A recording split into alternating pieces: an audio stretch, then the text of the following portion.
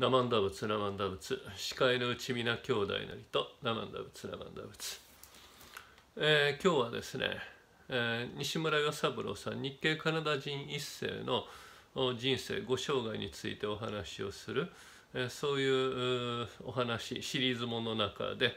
えー、奥さんの西村真紀さんのご証言から西村与三郎さんの人生をたどっていきたいと思います。えー、ご証言を歌ってねほんな遠の昔一世の人がもう遠の昔におられるわけですがどうやってそんな証言あるんやって言って言ったらこれはですね今やったらサイモン・フレーザー大学ブリティッシュコロンビア州にあります非常に名門大学なんですけどそこがデジタルアーカイブスっていうのをインターネット上で提供してくれててで1976年の録音なんですからこれは日系人が カナダに住み着いてから100年100周年になるということで記念プロジェクトで1世の人たちからいろんな話を聞いておこうやないか1世の人ばかりでもないですけど2世であったり白人であったり日系人に関わりの深い白人の人であったりいろんな人とのオーラルヒストリーを作っておこうやないかいうそういうプロジェクトがありまして。でその中で、えー、西村真紀さんが20分ちょっとずつ2回にわたってお話になっているっていうかね2回に分けて、えー、こう公開しておいでになるものがございます。これは後で貼っておきますから聞いてくれはったらちょっと録音レベルが非常に低くて聞き取りにくいんです聞くのしんどいんやけどねまあまあそうやけどなんとか聞いて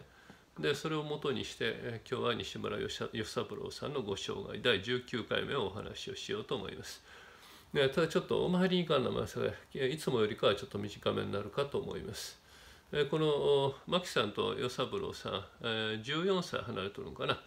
えどういうふうな形で、え慣れ初めは何か言うて言ったら同じお二人とも東近江市神護っていう滋賀県の旧能登川町ですね。JR の駅で言ったら琵琶湖線能登川というところ新快速止まるところですね。そこから歩いていっても決してそんな遠くないようなところが神護っていうところがあります。まあね、でその神護でお二方ともお生まれになったんですけれども最初なそその時の名字が北村さん牧さんの方の名字わからないんやけど与三郎さんの名字は北村さんって言います。で北村さんがなんで西村さんになったか言ったらご養子に来はってどこに来はったか言ったら私の住んでるこの滋賀県越郡愛称町河原にご養子に来はって名字が変わられたと。でどういうことで変わられたかといったらまず牧さんがですね牧さんが自分とこのお母さんのお姉さんがこの河原に嫁いではったようでで、えー、そのそこに西村留次郎家いうのがあったんですけど西村留次郎家はバンクーバーに行ってはってねでそのバンクーバーに行ってはる西村家があこうお子さんがないということでで誰かおられんかなということでこの牧さんがこう西村家を守るためにご養女になられました。でその牧さん のお連れ合いとして言い名付けということで北村与三郎さんがこうここちらに、えー、まあ言うたら夫婦で養子に来てくれはったっていうような形になりますね最初ご養女そしてご養女のお連れ合いということで北村与三郎さんが西村西村与三郎さんになってくれはったと。で、えー、北村家っていうのはねこの与三郎北村与三郎さんいう人はですね6人兄弟の末っ子です。で男の人が3人いはる間から、与三郎さんで兄さんのお名前が北村与一郎さんと言います。で北村与一郎さんカリフォルニアに行ってはって帰ってきはって結婚されるいうことで、えマキさんのお母さんと結婚されます。で言いますマキさんのほあの本当のお父さんいう人は、えマキさん生まれてすぐいなくなってしまわはったんでまああんまりいい言い方じゃないけれども好きな言い方じゃないけど未亡人ということで。真木さんのお母さんがおいでになってその方と与三郎さんの兄さんの与一郎さんした結婚されます。6人兄弟の長男と末っ子やから随分年離れていたんででその与三郎さんのと真木さんが結婚されるいうことやからね、えー、なんかちょっと複雑。というわけでもない。昔はそんなことはよくあったと思いますが複雑。昔にの考えでは複雑ということではないと思いますが今考えてみるとああというふうな感じですね。でそんな形で、えー、西村さんが北村さんが西村さんになってくれはったと。でそんで、えー、兄さんの陽一郎さんカリフォルニア。で、えー、来てくれはった西村家留次郎家。西村留次郎家はバンクーバーいうことでなんかね最初からカナダに行くべくして行ってはるいうかそういう計画の中で、西村家に来てくれはったんやないかなというようなところもやっぱりありますね。それははっきりとわからないことですけど。でえー、こう移民されることになったんですけどその説は2つありまして、えー、1つはあ牧さんが語られる牧さんがこうデジタルアーカイブ聞いてもらったら分かるような形で、小坂の種さんいう人に呼び寄せられたということになってます。小坂の種さんいうのはえー、こう同じ旧の戸川町太閤寺でね、えー、那須野城栄さんという今州会議員さんが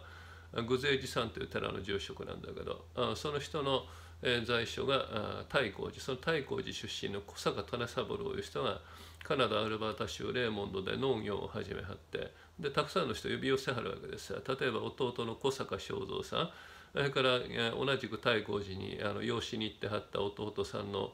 北浦良太郎さんを呼び寄せそして田塚の中川徳太郎さんという人を呼び寄せ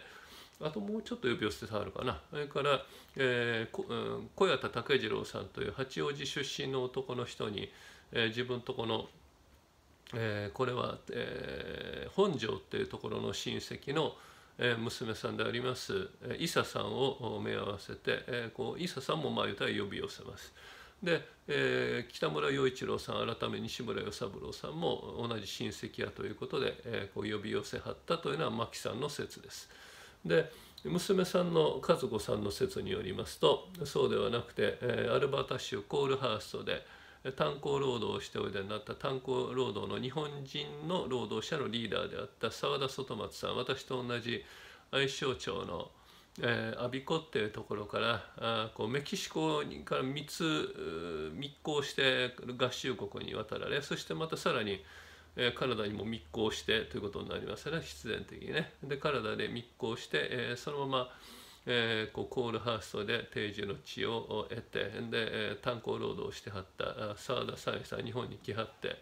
で誰か炭鉱労働を一緒にやってくれる人ないかな言って探してはった時に与三郎さんと出会わはったっていうのが和子さん説でえこっちは和子さんだけじゃなくて、えー、都市行ったあ滋賀県系のカナダ人の人と喋っとったらやっぱり同じようなこと言われるんで、えー、これ具体的に和子さんよりより具体的に語られるので、えー、これこの説も捨てがたいなと思ってどっちなんやろうなと思うんですけどね私はどっちも両方やと思いますね。であの移民されるっていうことになると、えー、家庭内労働者そして定住農夫として働く場合は移民制限の拉致外ですから移民制限を受けないでその当時は150人ぐらいかな。えー、1年の間に150人の人しかカナダに行けない新たには行けないということになってたんだけど特例措置で奥さんであったり家族であったりそれからあこう定住農夫いうて家庭労働者として働きに行く人はその150人ってその、えー、規制の中に入らないんで150人に入らないんでそういう形で、えー、こうカナダに渡られてその方がしやすかったから入ら 体に行かれたということもあるんだろうと思います。で、えー、明らかなのは最初に えー、与三郎さん一人で行かはって、えー、そして、えー、ある程度の見込みができた後に、えー、こう牧さんをお連れしようということであったということなんで一人でまず行かれました。で一人で行かれてどこで働かはったかと言ったら、えー、小坂の種さんのところじゃなくてね。え、白人の人のところで小作を始めはります。でその小作をしはって数年、え経った後にですねしばらく経った後に牧さんを迎えに日本まで帰ってきはってでそして牧さんと一緒にカナダに行かれます。でその時の牧さんのあのこうカナダに渡らはった時の様子証言しておいでになりますが9日間で、えー、神戸やったかな日本からあバンクーバーまでちょあのビクトリアに寄らずに直接行かはったようです。でその時の様子も例えば臭かったとかねなんか嫌やった船の船旅楽しいなかったような話もありますしでバンクーバーの日本人街の話とか白人を見てどう思ったとか言ってインタビュアーの人が聞かはるんですけどそんな別に何とも思わなかったりで言わはりますね。その何とも思わなかったことはですねこれどういうことかって言ったら鈍感やったとかそんなわけでもないしまあその腹が座ってはったっていうことだから一つあるわけだけどもう一つはですねえー、パパさんがしっかりしてはったからっていうことがやっぱたびたび出てきますよねこの人ばかりではありません。えー、先ほど申し上げましたその小坂の種さんに紹介してもらって結婚された、えー、こう小谷田武次郎さんと伊佐さん伊佐さんのインタビューも残ってるんですけど伊佐さんどんなふうに感じはったかいつもパパさんが守ってくれたからって言って言われます。で他の人もアルバータの人たちのインタビュー聞いとったらこれ必ず出てくるのはパパさんが守ってくれたからパパさんと2人でいたら安心やったからっていうことを必ず言われますね。これも一般的な傾向で、えー、一般的な傾向やからこそしゃあの時間かけて喋ってるんやけど一般的な傾向でパパさんがしっかりしてはったから何も恐れることはなかったということを他の人も言わはりますけども西村真紀さんもやっぱおっしゃっていてどんな時でもだから不安があることはなかったようです。で、えそしてバンクーバーからは大陸鉄道でアルバータに行かれるんだけど今と違うてねあそこ見ここ見言うてしょっちゅう泊まってね景色見学させてもらってまたとことことことこ進んでいくいうことで2日間ぐらいかかってようやっと、えー、アルバータ州コールハースト炭鉱のえー、結局いや、ね、新婚生活は炭鉱労働のところで迎えていかれます。ねえー、沢田外松さんのもとで、えー、こう与三郎さんは炭鉱労働婦として働かれそして奥さんの真紀さんはですね女の人3人しかいはらへんかったんです。で15人ぐらいの十数人のコールハーストの日本人の労働者の人たちのお世話をされます。洗濯しはってご飯食べさせてあげるっていうのはねそういうこう家事労働といいますかそういう家事労働というかねまかない労働をされます。女の人3人いうのは澤田外松さんの奥さんとそれから後藤英介さんの奥さんこの人がまあそのリーダーだったから女の人のリーダーだったんかなそれから若いまだ裏若い牧さん19歳の牧さんと3人が、えー、皆さんのお世話をなさり、えー、そのそういう形で2年間が過ぎます。で、えー、それからあとおやっぱり農業の方がいいなということで農業労働に移られてまたレーモンドで、えー、レーモンド周辺で白人の工作をなさいます。でその間に、えー、1927年にイサム・サン人が生まれますが残念ながらすぐに亡くなります。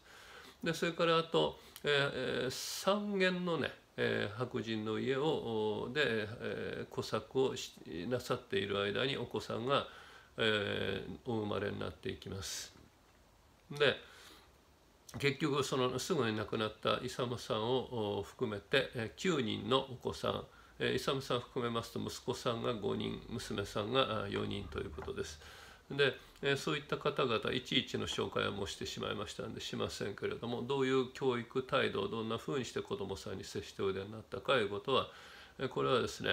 あの明治の男の人やからね叩いたり蹴ったりとかねその音もありそうなもんやけど一切されなかったそうですねもう子供さん可愛いってしゃあないで大切に大切に育てってねそれであのなんていうかなもうすでに喋ってることやからけども与三郎さん学校の先生になりたかったと思ってはった。そんなふうに和子さんをお感じになってる。そんなふうなことやから、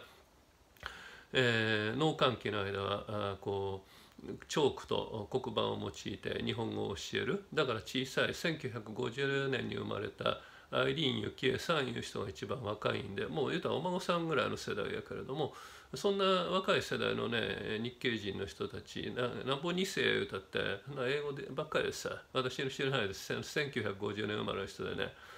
えこう日本にで暮らしたことがない人で日本語うまい人が誰もいないんだけどこのアイリーンさん人は結構日本語喋れるんですさそれはなぜかというとやっぱあのご両親の教育の賜物ですね。やっぱりちゃんと日本語を教えとかなあかん日本人としての教養を身につけとかとかなあかんようなことはやっぱり考えておいでになったようです。それから、えー、女の子に対しては上の学校に行かそうということはあまりお考えになっていませんがあこう男の子にしてはあ辛い農業労働専用に大学に行かしてで自分と同じような苦労をさせたくないとお考えになったんで。小さい時からねなんか頭良くなるようなおもちゃとかね。なんかほの勉強好きになるような教材とかね。そういうもんばっかり買うてきてそればっかりああの買い与えてあったらしいんで。で勉強大好きな人たちばっかり4人揃ってしまった。男のことに人については、えー、随分とね苦労して大学行かせるようなことになってしまって。えー、息子さんたちにはとっても申し訳ないよって牧さんはおっしゃってるんですけれどもうんそうやけど例えばダニーさん大変な秀才のアルバータでも聞こえるほどの大秀才の、えー、ダニーさん原子力の研究者になられますがその人なんかでも5年間農場で、えー、こう手伝いをして農場の労働をしてお金貯めていってようやっとだから高校卒業してあそこはグレード12やから一緒かだから23か。うね、私らの感覚やったら23やったら大学卒業してるような状況やけれどもその時にようやっとお金貯めて大学に入るお金を貯めて大学に入らはるっていうことで。それでもご本人も苦労しはったしで、えー、ご両親も何とかしていこういうことでやっていかれたんやろうと思いますけどね。なんか大変なご苦労でね。やっぱそのたこと昨日の生田先生やこうルビンソン先生の時もそうやけど俺ももっとしっかりせんなんなと。